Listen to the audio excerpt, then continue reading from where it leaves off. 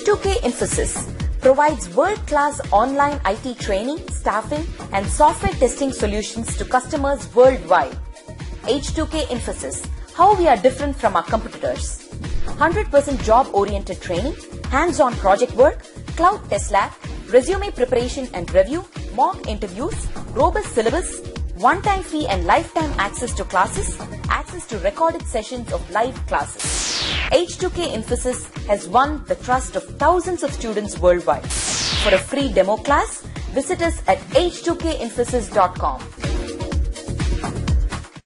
that will execute the that will execute your file so these are the steps which are involved right from uh, C sharp language to the native code which your system understands so let me let me repeat again C sharp code is converted to MSIL code or CIL code using C sharp compiler and your common language runtime or CLR will convert this MSIL code to native code using just in time compiler and uh, that is the reason why they call it as just in time compiler. So CLR will have uh, if you if you take this CLR has lot of uh, uh, advantages. One of that is JIT compiler. So let me put here. Even it will take care of CLR CLR stands for common language runtime. So let me put it here.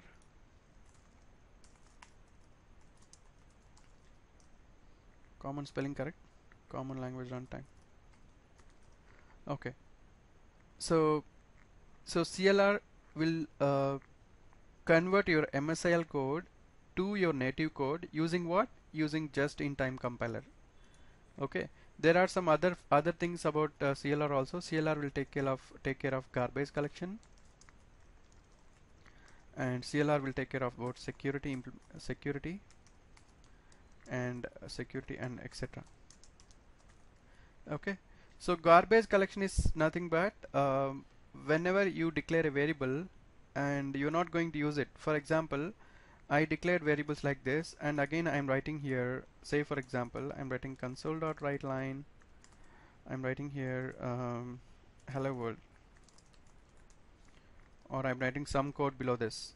So your CLR will understand that after this line after this line um, CLR will understand that you're not going to, you're not using a variables a and a and b anymore. So whenever the code is getting compiled after this line your CLR will will delete delete the unused variables. Because you have to free the memory otherwise your system will hang like uh, uh, if all the memory uh, variables or whatever components are there in the memory. So common language runtime will actually uh, delete even delete the unused variables okay? Now so I'll, I'll quickly summarize and one of you have to explain me this okay so C sharp code or VB code or any other code written in .NET framework languages will be converted to MSIL code or CIL code using the respective compiler. Uh, say for example C sharp compiler which is csc.exe or VB compiler which is vbc.exe whatever the compiler will convert to MSIL or CIL code. And that is the exe file which you are seeing uh, in the bin debug folder. Now the moment you double click on the exe file your CLR will come to the picture and CLR using just in time compiler will convert that exe to the native code and then will execute your file. Okay? So so anyone wants to explain this quickly?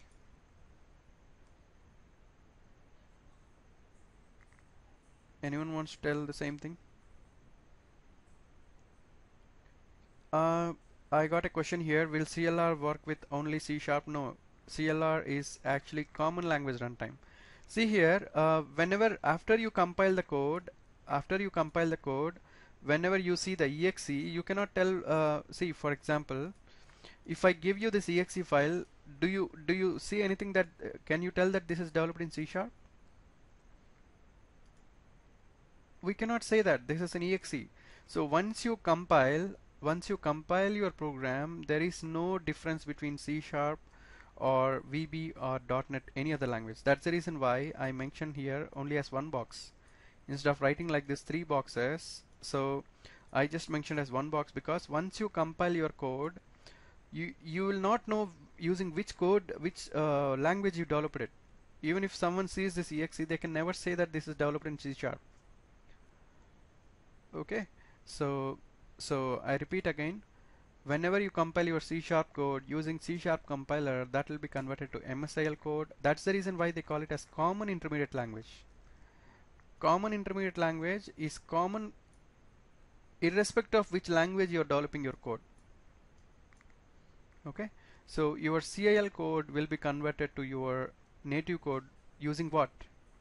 If someone asks you uh, who is converting your CIL code into native code so you have to tell CLR using JIT compiler. So you have to tell the word CLR CLR using JIT compiler uh, will convert CIL code to native code.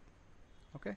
And if someone asks you can you tell some um, what is the use of CLR you can tell like uh, uh, it'll it'll even take care of garbage collection or implementing security or the main feature is using just-in-time compiler it will convert your CIL code to native code. Okay? Now even you can see the you even you can see the code of uh, CIL code how it looks like. So let me see whether that works or not. So let me go to my computer. C colon. Where where do you see .NET framework in the first class we discussed where we can see .NET framework. So C colon uh, C colon Windows C colon Windows Microsoft .NET framework. So inside this version 4.0 okay? So there will be there should be a something file called il uh, just a minute not sure if it is coming. With Visual Studio 2010 we used to have that. But Visual Studio 2013 I don't think we have. So let me the file name is ildasm start.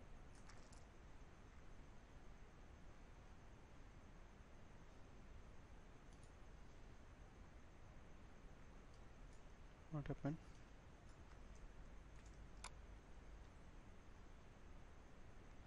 so ildasm is the file name. Let me check whether we have it. In so ildasm is intermediate language disassembler. So the use of this intermediate language disassembler is you can see the code of this exe see whatever I'm seeing here uh, this code add numbers code I can see that code. So using intermediate language disassembler. So normally that comes with uh, here Visual Studio 2010 12 let me check whether we have we have that.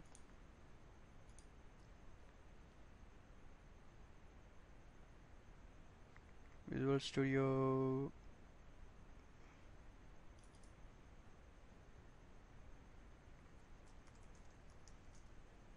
okay I have it.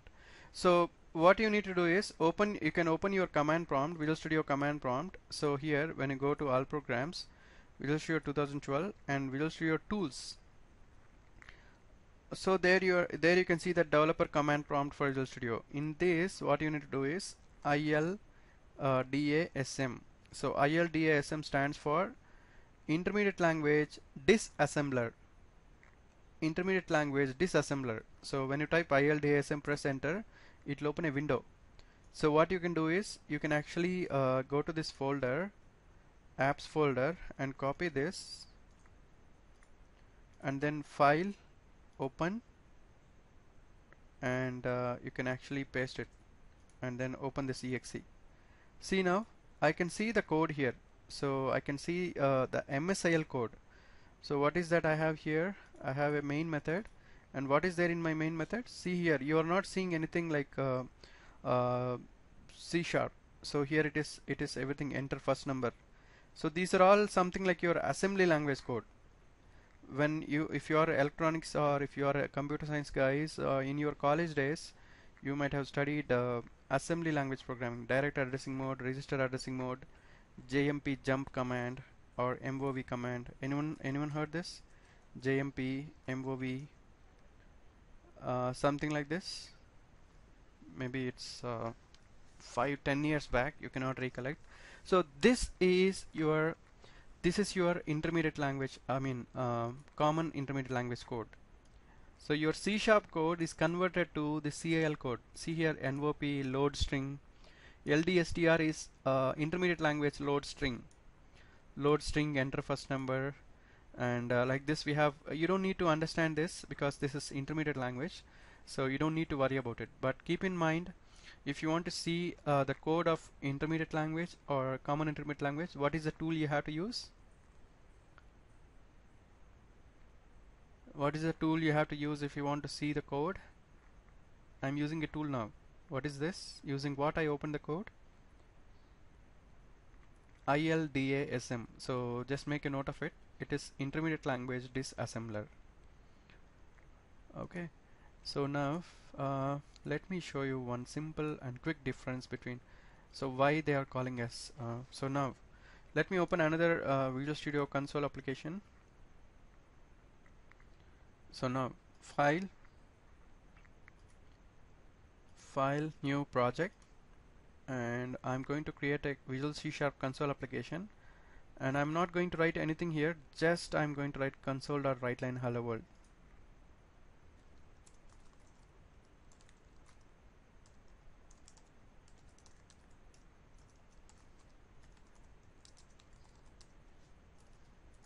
Okay let me rebuild this.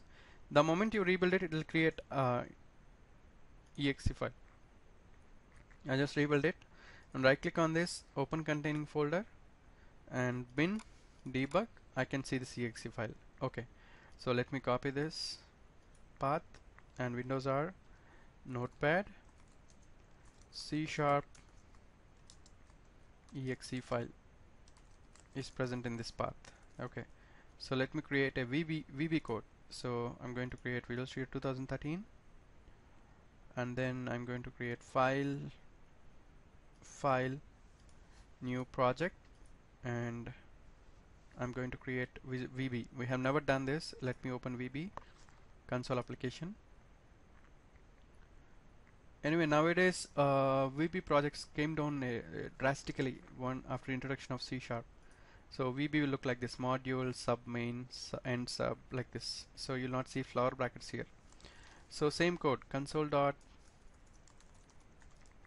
write line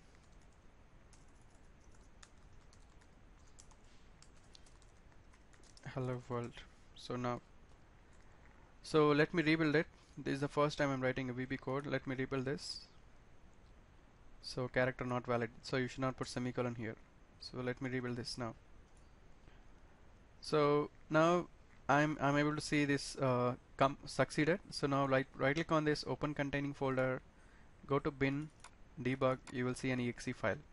So let me copy the path and let me go to uh, let me go to that notepad and then open this and then VB VB exe file. So I have here VB and I have here uh, C sharp. So let's try to open this using ILDASM tool and try to compare whether we have any difference there. So now how do I open ILDASM tool? I need to open go to Visual Studio 2013 I need to open that um, developer tools. So Visual Studio tools and then I need to open developer command prompt. So double click on this. Now ILDASM another ILDASM let me open. So now I have two instances of ILDASM so now what I need I'll just open and compare whether there is any difference between VB code and C sharp code. First let me open C sharp code. So file open give the path here. And this is C sharp code. So now let me open main method in C sharp. So I have this. Okay so now let me open um, VB code and then see whether any difference we have there. So let me copy this. So file open. So you will not have any difference between uh, VB or C sharp code or even any other technology. So console application and then where is main method? You have main method here. So let me put this here and uh, let's compare now. So this is C sharp and this is VB so what is the difference you see here? So let's try to understand uh, what is the difference we are seeing here. So uh, NVOP LDSTR call NVOP RET and end of main method. So we don't see any difference. Exactly same. Ms corelib system.console write line string. So anywhere it is mentioned that it is developed in C sharp nowhere it is developed it is mentioned in uh, that is developed in C sharp. So you can only see that CIL managed code CIL stands for common intermediate language. So this is common intermediate language. So I repeat again irrespective of the language which you are developing your CIL code is same and using CIL code it is di very difficult to know in which which language you have developed your code. Okay? So now let me close it. So this is about uh, more about introduction to uh, .NET Framework, CLR, CTS. I'm leaving to you. It is common type system. Uh, we already discussed that, but not uh, but not as a separate CTS. So, what is the alias name for integer? All of you, what is the alias name for integer? int 32 and what is that so can I can I use it uh, for example that is what we call it as common type system for example in in here I can declare int a. Okay. Now if I go to this is C sharp project. Now let me go to VB project. So here I cannot declare int a. So I don't have uh, I don't have int small int here. In VB we have capital int so if I declare int a it will throw me error. Like this if I put here I don't have int a let me compile this. Because different languages will have different data types so uh, where is it? You do have integer? Okay. Now if so we don't have integer so if but what I can do here is I can declare like this int 32 and yeah I can declare. So I can declare the same thing. So if I copy int 32a and uh, int 32 let me put here. Like this you need to declare so I, I don't remember how we need to declare uh, in VB so let's okay. Dim a as int 32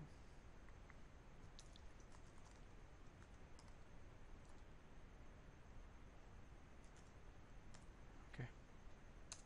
So like this you can give.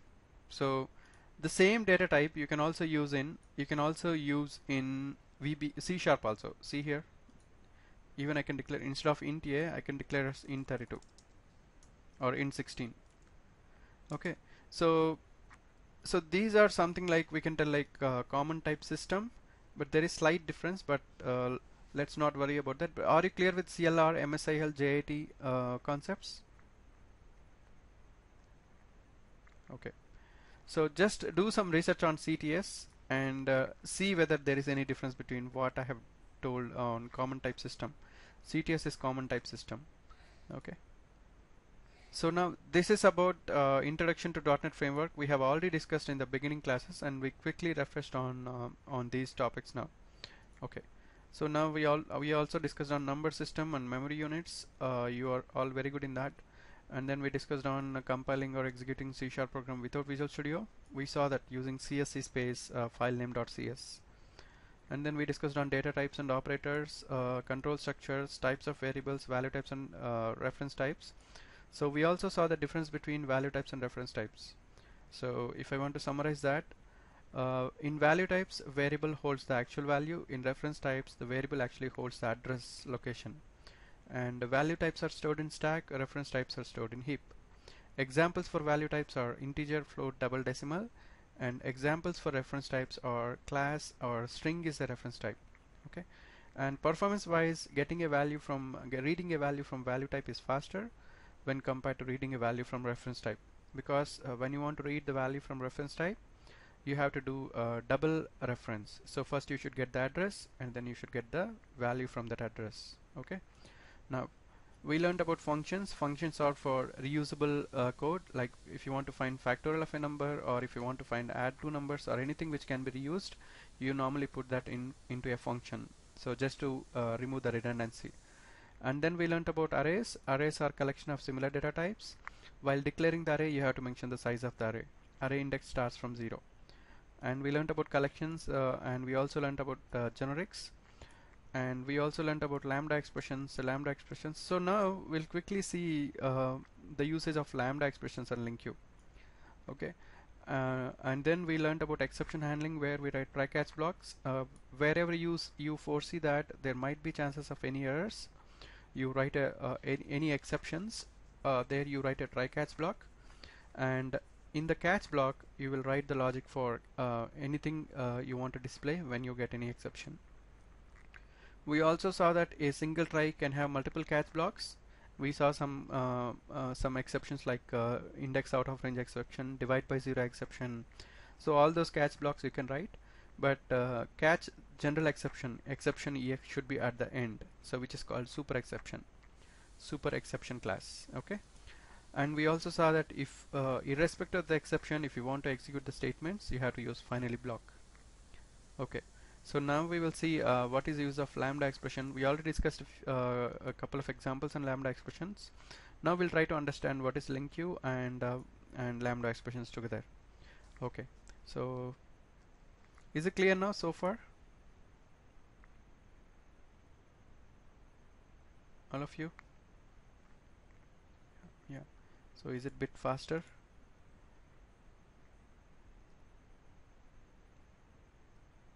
Okay we'll take a pause here so just for two minutes. So any question? Now say for example I have a class employee. So I have a class employee and this class employee is having two fields public string employee name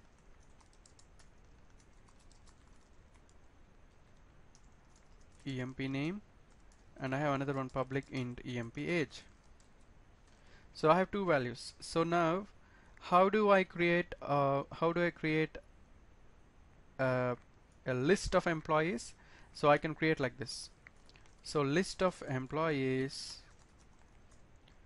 and I can write like this. Employees is equal to new list of employees. And then I can write I can actually declare like this and I can I can add like this. Employees dot add I can write like this. New employee and I can write here emp name is equal to Meghnad and then emp age is equal to 30 so I can write like this. I can add employees like this. All of you know this already. So I just created uh, yeah. So I created a list of employees. This is a generic. So when I move the mouse here I can see that this is a generic list. So here you can see that it's a generic list. Now I created a generic, generic list. I added one employee to it. I can add like this or I can add like this here itself. I can put flower brackets here. Uh, uh, I can add like this. So what I can do here I can add new employee and and I can write like flower brackets here. I can write emp name emp age equal to 30 and then emp name is equal to Meghnad and then what I can do? I can give comma a new employee and I can write here again emp name emp name is equal to Bharat. I can give some name emp age is equal to 29 let me give one last uh, one last employee new employee. And I'll give emp name is equal to uh, Ravi. And I can give some uh, emp age as 28 so like this you can declare uh, you can actually uh, initialize with some values. So I initialize this employee. So this employees object is now having three employees. Now if I ask you a question how do I how can I print uh, the names of these employees? So how can I print that? All of you? It's uh, now we'll have some question and answers. So the first requirement first question so question one. I want to print names of all employees. Yeah who wants to go ahead? I want to print the names of employees. So this is a collection. This is a generic generic collection. So how can I print the names of employees? So anyone wants to go ahead